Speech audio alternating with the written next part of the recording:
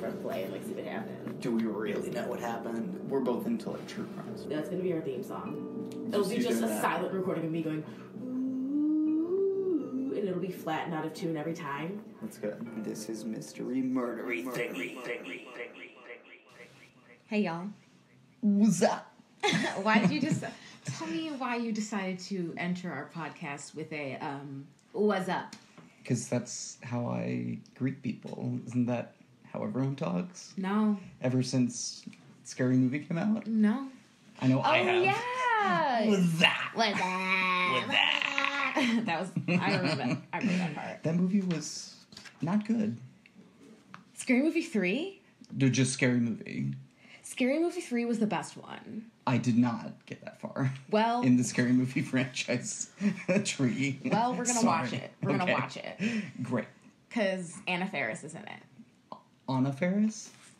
Ah Shut up. okay.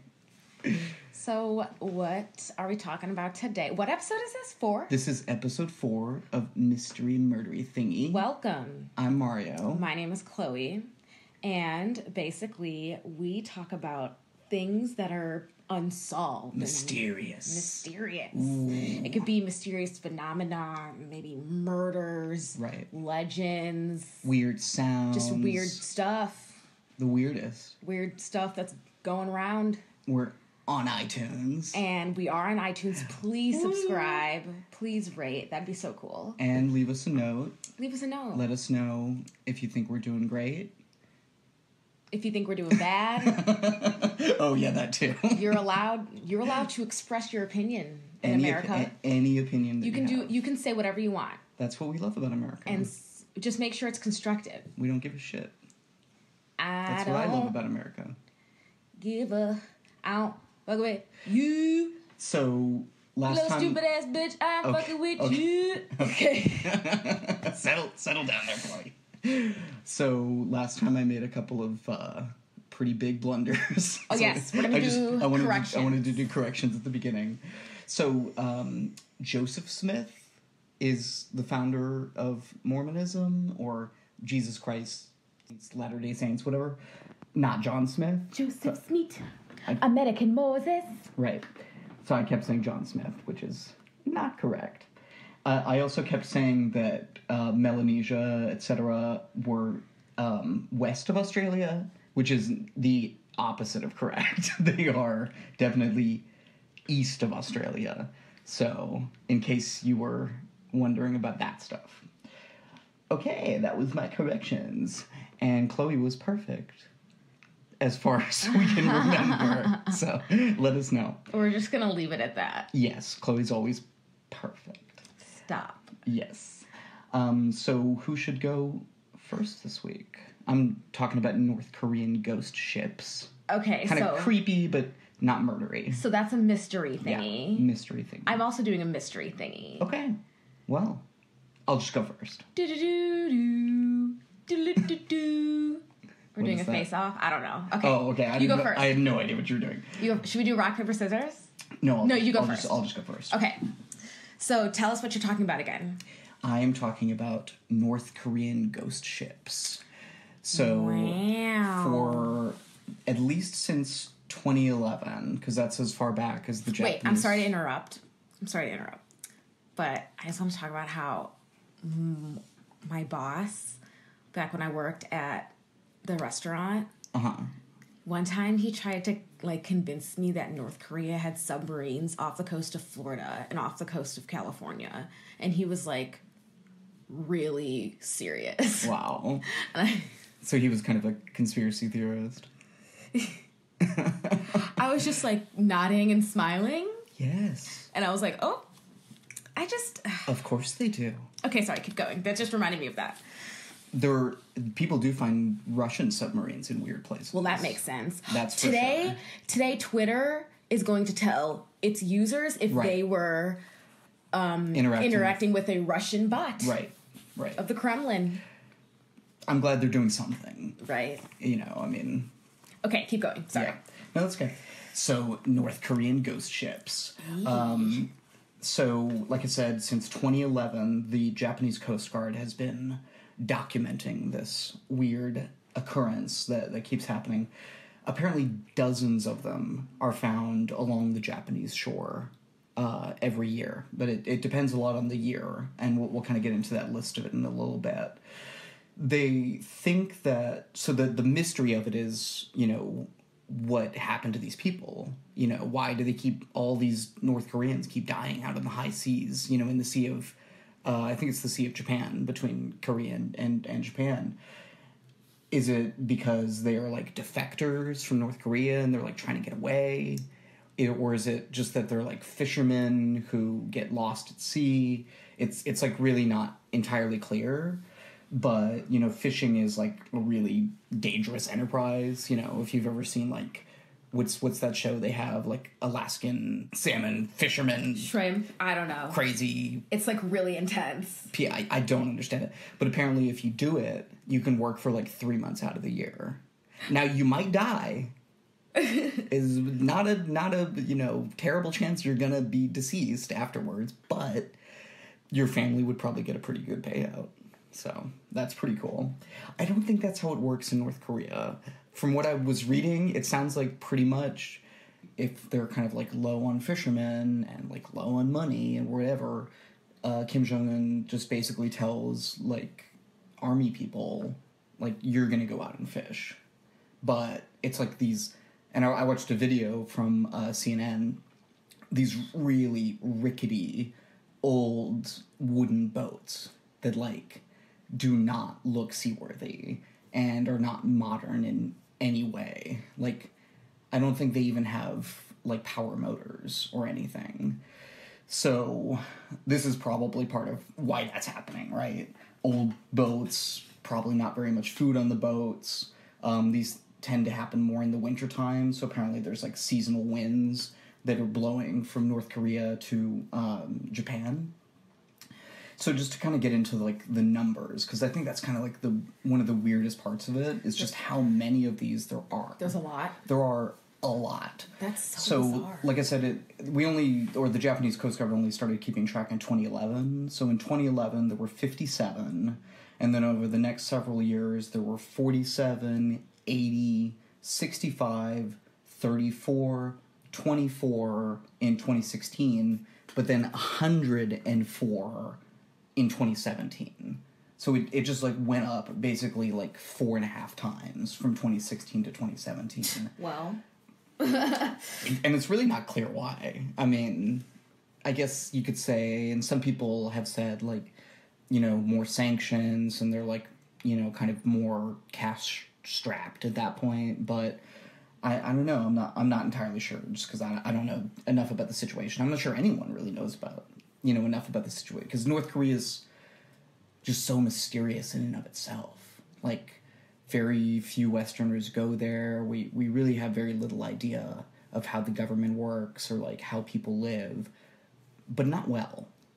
We know that they're not they're not they're not living well because their government is uh, terrible. so was the interview accurate? There wasn't an wait. Are oh, there- the interview. Are there murals of like grocery stores, but you go to it, it's like fake? Remember that part? I do. I do remember that part from Do you the, think the that's movie real? The interview. Um, no, I don't think that's. Yeah, I was gonna say, that doesn't no, sense. I don't. I don't think so. So anyway, on these boats, um, a lot of the bodies that are found are like skeletal. Ew. Yeah, like desiccated, just a skeleton, or sometimes like just a skull Ew. like um one of the ones that came on uh that, that came up to the shore last year um had 31 bodies including eight skeletons in one boat so and they said like like clear- dead bodies? yeah like clearly they've been out there for like months and months and months too. Like that's the other thing is like some of these have been these people have been dead for like six seven months by the time they drift ashore onto the japanese coast. And part of the reason why they know that they're from north korea is the like lettering on the sides of the boats. Some of them have like north korean military markings on the sides of the boats so it's part of how they they think that like it's basically soldiers who are getting like pushed into doing this which to me suggests probably a lot of these people, and again, I'm like totally extrapolating here, but probably don't know how to fish. They probably don't know how to sail. Like, they're probably just getting like pushed out there and saying, like, go find the fish.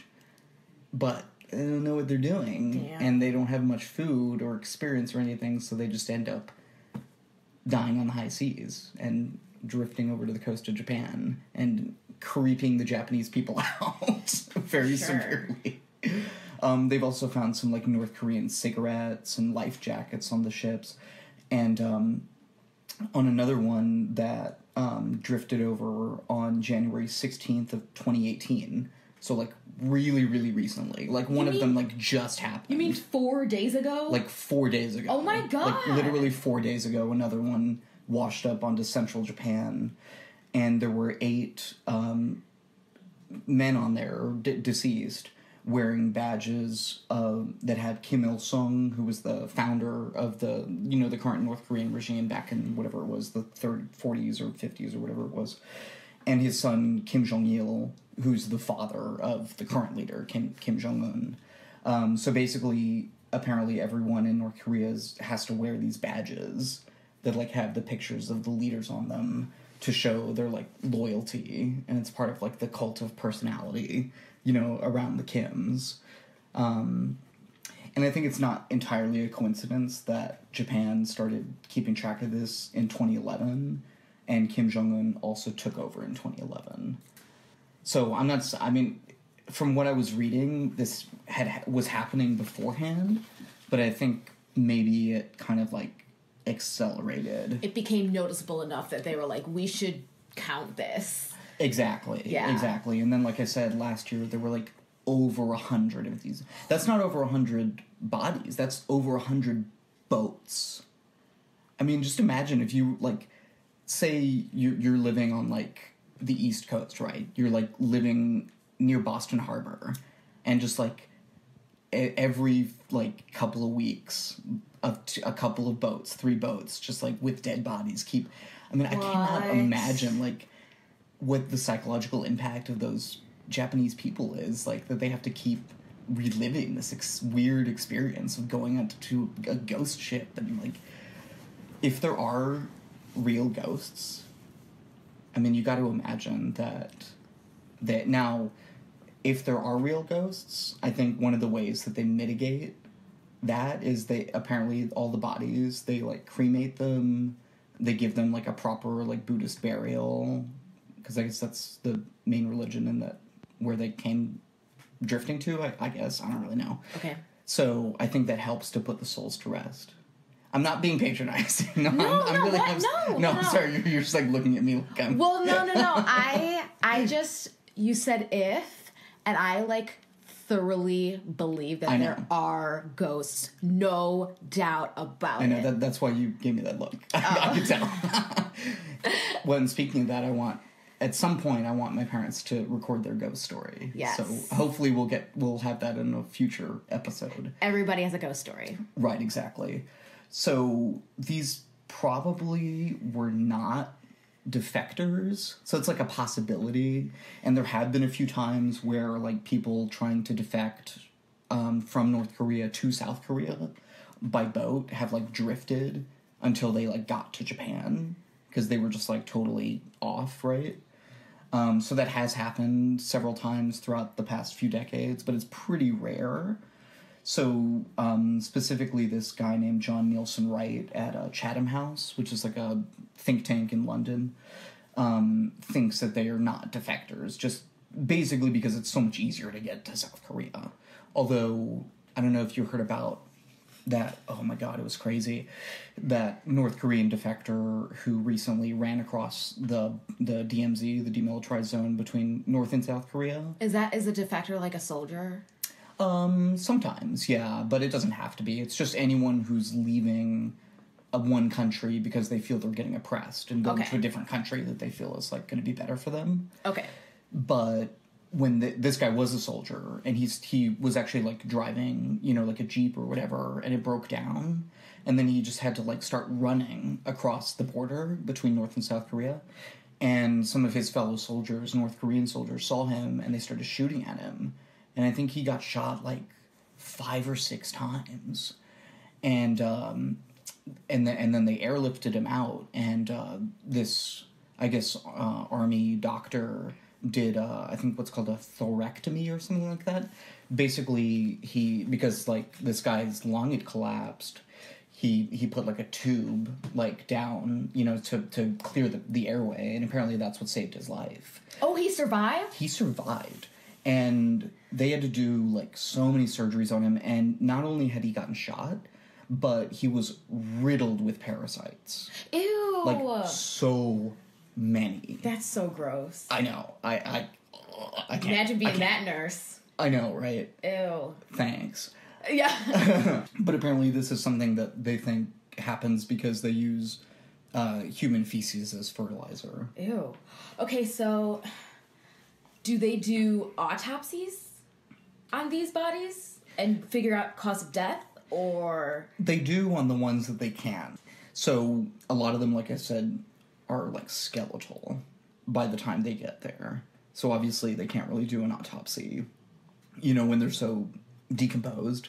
But they, they have done autopsies, I think, on some of them. But it's really not conclusive. Like they assume that they died from exposure or from starvation, but really no one knows exactly how they died or or why this keeps happening. But um, like I said, it's it's probably just that they're like being sent out there to you know whatever fish, and they end up just because the North Korean regime like doesn't care that much, right? Um, apparently, that's what it seems like anyway. So one other thing I wanted to mention though, like for these Jap- from the perspective of these Japanese people. So in the 70s and 80s, apparently the North Korean government did send over spies on boats and they abducted at least 17 Japanese citizens. Primarily they said to train North Korean spies. I'm not exactly sure what that means. Like train them to speak Japanese or like I don't really know I don't really know. But that has happened before. That's weird. So that's something else that like the Japanese people are kind of like freaked out by, like you know, because um, there have been ones that showed up with people who were completely alive too. That's rarer, but some of these you know ships that drift over aren't ghost ships because they actually have live people. so so what do those people say? They don't say much. They don't. Are they not allowed to probably? Like Oh, they yeah. don't Oh, oh definitely. Oh my god. And and some of them end up getting sent back to North Korea because they basically like you know they didn't mean to defect or anything they just went the wrong way and ended up in Japan instead of back home I guess oh my god. so it's it's very mysterious So what do you think happened? What's your theory? right right right right I mean basically what I said that you know these are people who were pushed into trying to find fish and going out into the sea who I mean shit if if somebody put me on a boat right now and told me to go find some fish for the dear leader I wouldn't have any idea what I'm doing. I've never I've barely been on a boat before.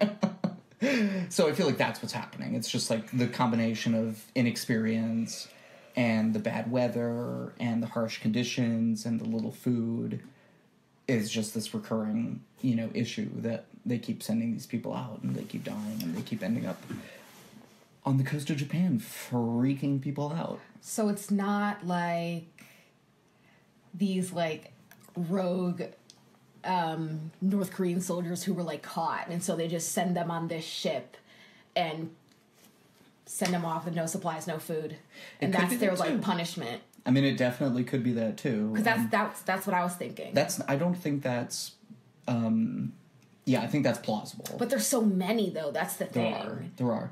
But, you know, I think we've also recently found out that North Korea basically has, like, gulags, you know, like concentration camp type prisons for their own people.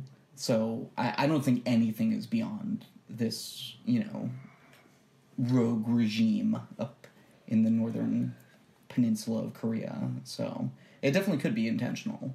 And of course, you know, the, the North Korean regime is not saying anything. Mm. So Yeah. Weird stuff. Um, my sources. Okay. So I got a lot of stuff from um, Wikipedia, of course, from the, the North Korean ghost ship Wikipedia page. God bless. Right. Um, best thing that ever happened to the internet. Um, also from an article on Snopes.com by Kim LaCapria. Um, from CNN, uh, Junko Ogura at CNN. Uh, Julian Ryall at The Telegraph. Jake Adelstein at The Daily Beast. Tim Hume at Vice News. And Samuel Osborne of The Independent. Yeah, doing their jobs, finding shit out so we can talk about it. Thank you, people. Oh my god. So that was mine. Yay. Yeah. Um, you've so you've way more sources than I do, as always. I just like do a lot of reading in one spot because a million tabs at once stresses me out. Right. So you ready for this? I am ready. Aye, aye, Captain. I can't hear you. SpongeBob SquarePants. Okay. All right. It's just kind of funny because the one that I'm talking about is called The Lost Dutchman's Gold Mine. And if you recall, there is a character on SpongeBob called, uh, oh, he's, he's like called the Dutchman. He's like a ghost. Oh yes, yes, yes. I've seen that. Oh man, what's his name? It's like the something Dutchman or the Dutchman. The Flying something. Dutchman? The Flying Dutchman, that's what it is. Well, because the Flying Dutchman is a famous ghost ship. Oh. Maybe that's one we can talk about in the future. Okay. I didn't know that. Okay. Yay. If you listen to stuff you missed in history class, which is one of my favorite podcasts, uh, they talk a lot about ghost ships. That's like one of their favorite topics. Is like shipwrecks and ghost ships, and anyway, that's a good one. Okay. So, the first thing I noticed when like doing all this research is the amount of s- stories and lore behind this this legend. Okay. Um so it is located in get this, the Superstition Mountains in central Arizona. what is? The Dutchman Gold Mine. Oh, the okay. legend of the Dutchman Sorry, we, Gold we, Mine. we, we got off on the other thing, so I didn't catch that. Okay, anyway. um yeah, it's a mysterious treasure that may or may not exist. And so like, you know, anthropologists, treasure hunters, prospectors, conspiracy theorists, um, hikers, all these type of people all over the USA have tried to find it. And um, they all not all, but uh a striking amount of them end up dead or simply disappear. It's quite bizarre. And so, yeah, like I said, because it's like such a legendary thing, there's a ton and ton of different stories and theories. And some of them seem way more believable than the others. And some of it I like only found that in one place and no other place said anything about that. But yeah. Um, okay, so what I did was gather the ones that I liked, my favorite ones, and the, also the ones that are the most interesting and the ones that seem the most believable and those are the one I'll talk the ones I'll talk about. Then I'll talk about some of the people who who disappeared or died because those are crazy. Cute. So no one really knows the exact number of people who lost their lives or simply went missing in the mountains, but some say it's upwards of 600. Yeah. Um I mean I I don't know about 600, but there were definitely a lot a lot of different cases that I read and 20 plus of them are like proven deaths um, like they found remains and stuff. Um, lots of beheadings, which I'll talk about later. Not only were there tons of different cases, there were tons of different origin stories as to how the gold mine came to be and why it's so dangerous and mysterious. So here's some origin stories that I found. The Pima Indians are one of many local Native American tribes who inhabit the area. It's said that the Superstition Mountains get their name from an evil spirit that guards the treasure, and he only sleeps four hours a day. So the idea is to get in and get out while the evil spirit is sleeping. I found that at one place, and I just thought it was interesting. Yeah. I think that one's the least plausible. Okay, another one is that the mountain itself is cursed, which I I believe. And Native Americans believe that the entrance to the underworld was was held within the mountains. And then in the 1860s, there's a lot about this guy too. A German man named Jacob Waltz, who they called the Dutchman, mm-hmm. came to America in hope to find gold.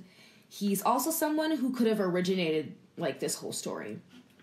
So in this case, Waltz did in fact find a vein of gold, but he later grew very ill, and he gave the list of clues to his caregiver, a woman named Julia Thomas. She and others went searching for the treasure, but they were unsuccessful. They never found anything. And so they sold the map for $7, which um, in the 1860s, it was under, it's a little under $200 in today's money. So there are many versions of this this story too.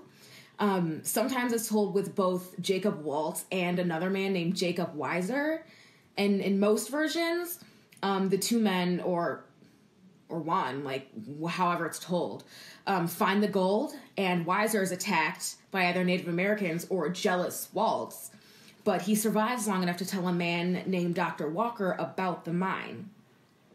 And there is evidence of a real historical Jacob Waltz, who was a miner slash prospector in about 1848. And he has a grave in the Pioneer and Military Cemetery west of downtown Phoenix.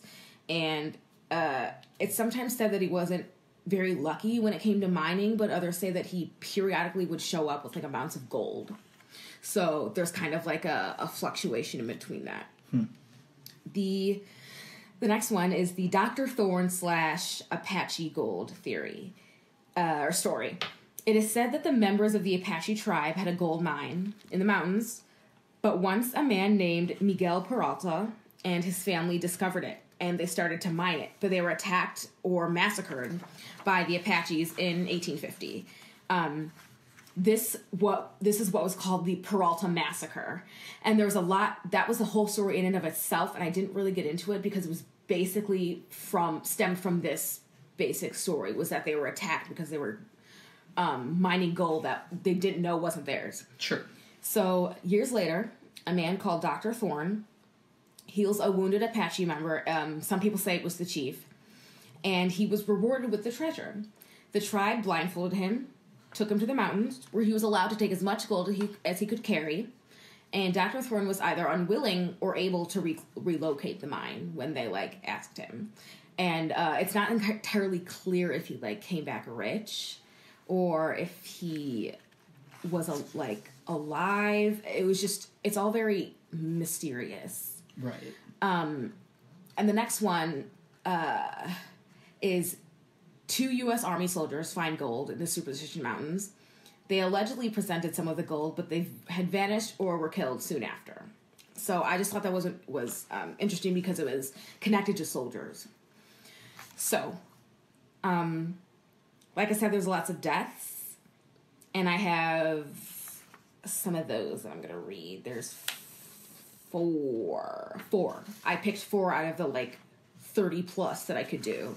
Yeah, it was crazy. These are like the most interesting, or you said like the most kind of plausible. Yeah, Because it I- sounds like everything about this almost is like in flux, you know, which totally makes sense to me because the Western United States of the mid to late 19th century, not a great place for record keeping. yeah, for sure. Not a lot of uh, good governance going on at that time, per se. So, okay, the first one, Jesse Capen. He was a 35 year old man who was obsessed with finding this treasure. And it was in 2009 that he went missing. In 2009. Yeah. In his apartment, they found like books and maps and hundreds of articles about the Superstition Mountains and all, and like the trails and like where the gold could be and all this stuff. Hmm. And according, like they found this, and it apparently he had tried to find it two other times before, but he didn't. He didn't tell anyone about it, which is both stupid and greedy. Like, Right. you know, if you're gonna go find gold, you're not gonna be like, "BRB, I might be rich." Yeah. Um, Don't follow me. it'll turn into a national treasure, right? Mm-hmm. Uh, do you think Nicholas Or, Cage? or that show that my dad likes to watch about like some mysterious trip. What is it? Oak Island. The Oak Island? mystery of Oak Island. Oh my god! One more person has to die before they can find it. Oh, It's on, like, TLC or I whatever. have seen an episode of that. Okay, anyway, Yeah. um, choo-choo. yeah. So he went off two times before, and without telling anyone about it, the Superstition Search and Rescue Team, which exists, which had been searching for Capen every weekend for three years, found his ema- remains after after three years. They said it was in a tight spot, thirty feet off the ground, and his official his official cause of death remains unknown. So that they don't think that he fell. Well, they don't know. They think he might have fell into the crevice, That's or what I was thinking. he um, or his um, remains were um, moved there somehow by just weather and Maybe a, a Erosion. puma or something. and st- yeah, animals. So the next one is um, this is the most famous, and this is the one that I think really, well, I mean, it, yeah, it really got the ball rolling for this these stories and this like lost Dutchman's mine thing to get to get going. So Dr. Adolph Ruth is his name. The death of Dr. Ruth was back in 1932, and uh, it it's what made the mountains famous. His death is the most well known because it's kind of the creepiest. He set out on a two week journey into the mountains back in June of 1931. And when he never came back, a rescue team went out to search for him, but they didn't they didn't find any remains. But later in the year, um, uh, hikers uh, it found a skull, and then it was positively identified as Ruth's. Um, but here's the thing: his skull had two bullet holes in it, and the anthropologist slash doctor who looked at it he said a lot of stuff about it, but he the main thing he said was that it was either a shotgun or a high powered rifle because at, like the entrance point was a small hole and the exit point was enormous. right. So the rest of his remains were also found, including his own pistol, and it was still full of bullets. Like there weren't any there weren't any missing. Hmm. Um and I didn't understand. Maybe you could explain this to me. There were also metal pins found that were used to mend his broken bones. Is that a thing? Yeah, definitely. I, I didn't know that they started that practice all the way back then, but yeah, when there's a really severe break, sometimes it'll be necessary to put like a metal pin in the juncture between two bones to to shore up that area. You know, basically to become a surrogate bone in a sense, and that's something that still happens up to today. Yeah. Okay. Um, they found those, um, but his map was gone. Ooh. And it sounds like he was like waylaid or something. I mean, if he didn't have a chance to shoot back, I know, right? you know, it sounds like he was like uh, come upon, you know, in the dead of night or something. That's what I would prefer. To, that's the scariest, most interesting thing to me. but wait, there's more. Okay. Even creepier, they also found his checkbook with detailed instructions as to where to find the mine. He ended the note with the Latin phrase "Veni Vidi Vici." I say my Right. co- I I came, I saw, I conquered. Right. Isn't that weird? That is that is strange. Okay, so next we have James A. Cravey. He back in the this was a little later, a little later. So back in the forties, um, he's a sixty-two-year-old treasure hunter, and he went in search of the gold. And there was a lot of there was a lot of hype about the treasure during this specific time because it was like, um, what is it now? About eight plus years after Adolph Ruth, the doctor, died. So he landed in the desert via helicopter and he began his 10 day trip. And of course, um, when the pilot landed, uh, he when he came back 10 days later, Cravey was nowhere to be seen. His camp was left intact, and two days worth of food was missing. Even creepier, they found his decapitated body in the wilderness of the mountains, and it wasn't until six months later that they, they found his skull. No one knows why he was beheaded or who killed him. So he was beheaded too. Yes. Yes. Interesting. From 1955 to 1977, five people were found dead with bullet holes in their heads. Yeah. Two two more bodies were found also without out heads, but their skulls were never recovered. So like I said, it's it's weird because there's a lot of beheadings. It's not like they just find these like skeleton people who could have oh, they probably died of you know, exposure, starvation, got lost, but it's like clear stuff that they were like attacked by something. Shot in the head and then also decapitated. but also like many years apart. Right? So I mean, you would think, okay, maybe there's some psychotic person living out in the woods in that area or something, right? But Mm-hmm. it seems kind of unlikely that they would have been doing this like for 30 years, you know, continuously. It's crazy. Um, the next one, I think this is my last one. Yeah. Yes, my last one. Uh, James Kidd. James Kidd vanished December 29th, 1949. He wasn't just another man to vanish into the mountains. This guy's really interesting. He had a very odd life. He didn't have many friends or family, and few people knew anything, really anything about him. Um, and his disappearance didn't really wasn't that important um, until 25 years later when it was discovered that he left behind half a million dollars in fortune. So remember, this is 1949, so Right. that's a lot, a lot of money. Right. Um, and what they say is that he made his money by investing in the stock market, the stock market, but the source to those investments is a total mystery. And he he was a prospector, and he did a lot of mining on his own. So it's sometimes believed that he had like a stash of gold somewhere, and that like he took it when he needed it and used that to invest and stuff like that. And there's a, also a like I could go on about this guy. There's also a ton of weird stuff about him. Like there's lots of different theories and stories, but most being that he was murdered for his fortune and it was never it was never found. Um, but what was most noticeable noticeable about his interest was his interest in the supernatural. His will stated that the fortune can go to anyone who proves that visual ghosts exist, and his remains have never been found. I feel like that's going to be your will Okay. someday. No. um, but I also read more about him. I didn't write this down because it was a lot, but the lostdutchmangoldmine.com I got his story from and the author I- don't think I don't think his name was ever up there, but he was talking about how he had these like sources of people who knew this guy. And um uh, like their stories have died with them.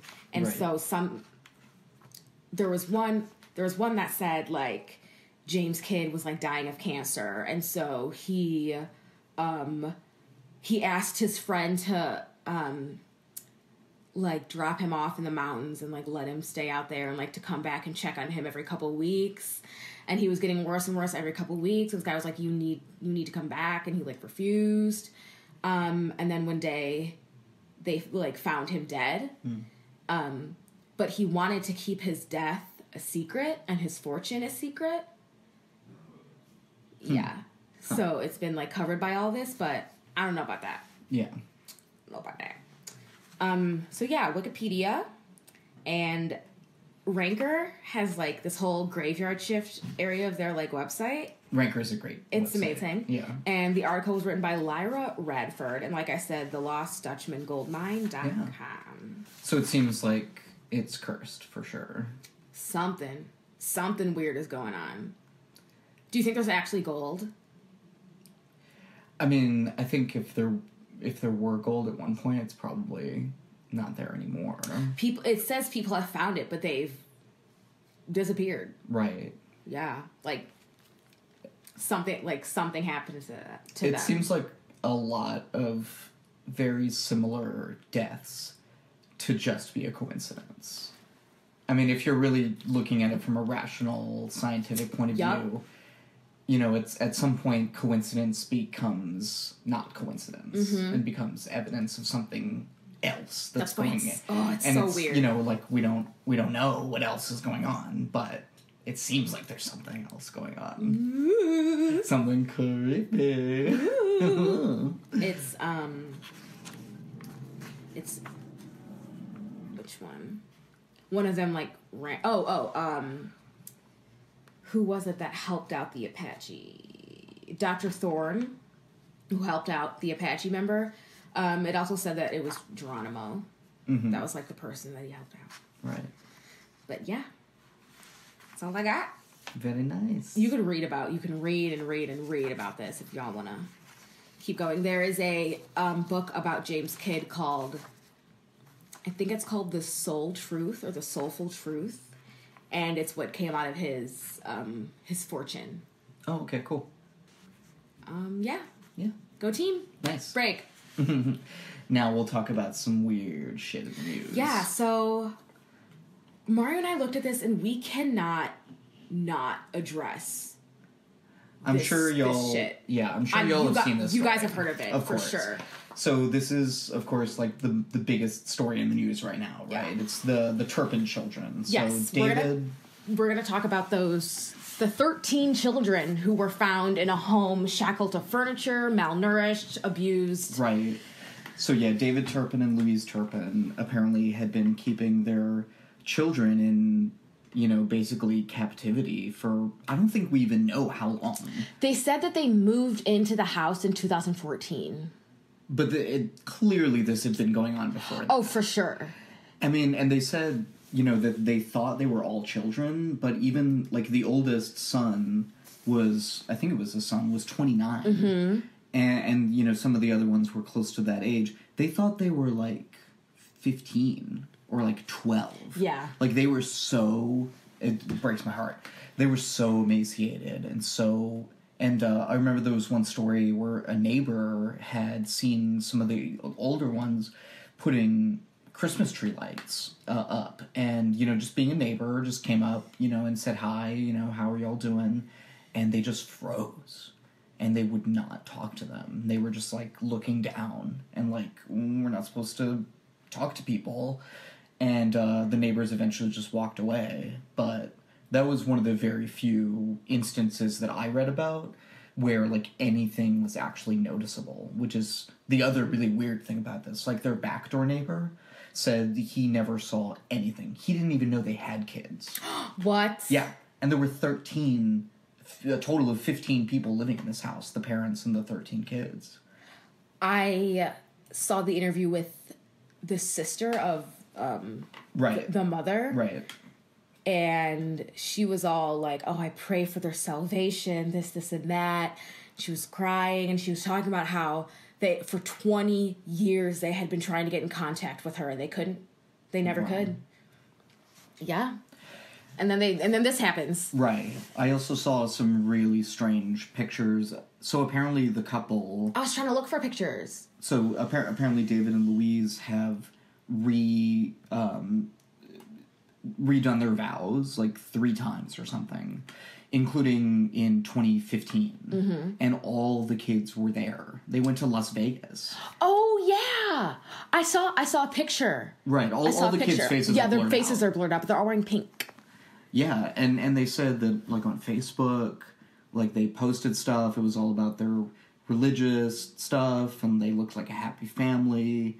Yeah, not so much. Kids were being like shackled to a bed and starved and whatever else. You know, I don't think we even know the half of it probably at this point.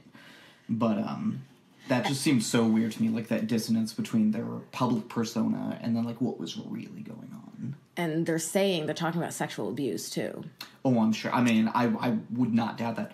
Um, one, I think it's w- one of the cousins or sisters of the dad said that um, he used to like watch her in the shower Ew. when they were younger. Yeah. Ew. So I've I've heard a little bit about you know kind of a history of that sort of stuff with these people. Um there was an interview. I didn't watch it. Um, there was an interview with the Elvis impersonator who's there at Vegas. oh, really? Yeah, like Wow. during their vows, and uh, like he was like talking to the kids and stuff. I didn't watch the video. I should have because I didn't really understand why there was an Elvis impersonator, and then I like read the story later about how the vows and stuff. That's why I didn't click on it at the time. Mm-hmm. But, But how it actually came out is pretty interesting too. Like the 17 year old daughter, I guess, found like an old phone that was totally deactivated. yes, And she ran out of the house and. She escaped through a window. Oh, through a window, that's right.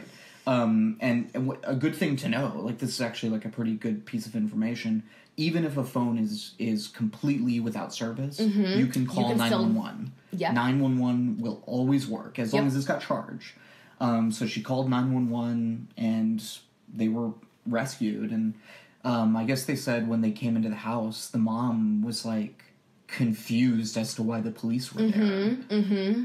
Which is also very weird and creepy. Maybe they just like are so deep in there psychologically that they think this is normal or something. Also, Who knows? Man, they are ugly. Oh my god, the dad, the fuck, he is so gross looking. Oh my god. very weird. He's got like a like a bowl He's got haircut. like a bowl cut. Ew, he was oh, ugh, Like, ugh. he, was loo- so he gross. He looks like like that weird child that you'd see in a playground, but a but a adult. Like it is kind of. I mean, if it weren't so crazy and tragic, it would be funny, right? Like Yeah. he looks like a SNL character or something. He's gross. I don't understand. So here's here's what happened.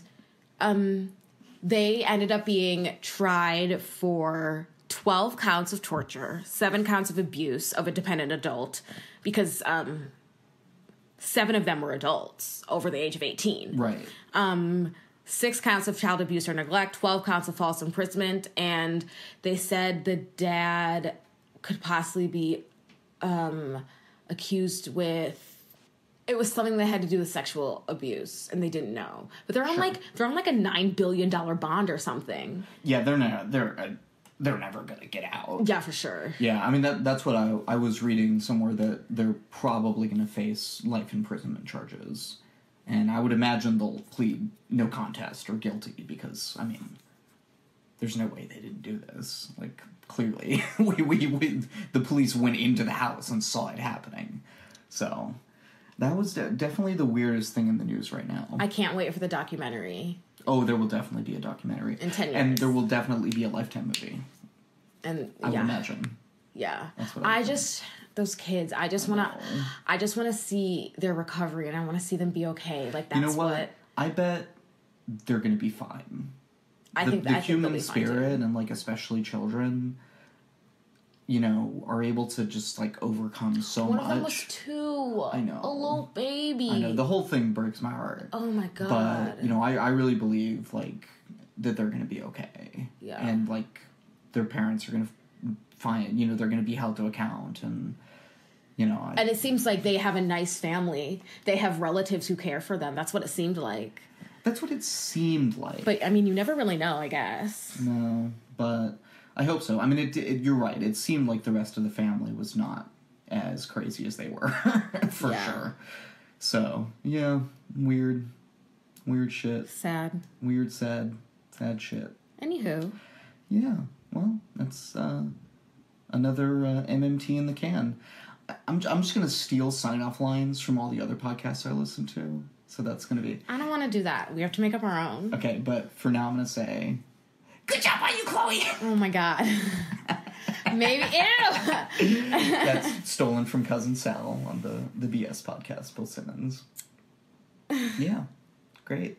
Um. Stay sexy, don't get murdered. That's not ours. I love them. We're gonna go see them sometime. I hope so. Karen in Georgia, my We're favorite murder. Gonna go see them. The bestest podcast. The bestest. Yeah. Bestest. No, no, no, no. Okay. Uh, Um. yeah. Subscribe. Please do subscribe to us on iTunes. Leave us a rating. Uh, we're we're gonna be up on Patreon soon, so be looking out for that. And yeah, bye. Bye.